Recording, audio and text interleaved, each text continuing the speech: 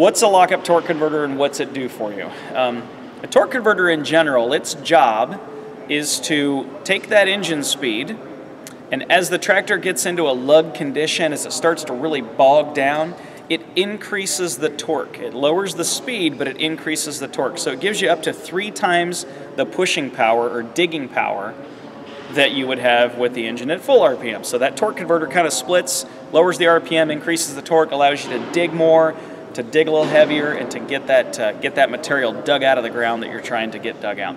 And it also allows the tracks to slow down and not slip because we don't want to slip tracks. That doesn't do us any good. That's wasted energy. So it allows the tracks to slow down a little bit and get that extra little bit of dig to get that blade loaded and get you into the carry. The lockup portion of that torque converter, after you get that dig and you get that material, that bladed loaded material, and you're ready to slide that to where you're taking it, that lockup, when you shift up to second gear, it locks that torque converter up and it gives you a direct drive between the engine and the transmission. So it gives you the efficiency of a direct drive and that extra power and push and speed to be able to get that material carried down to where you're uh, where you're spreading it.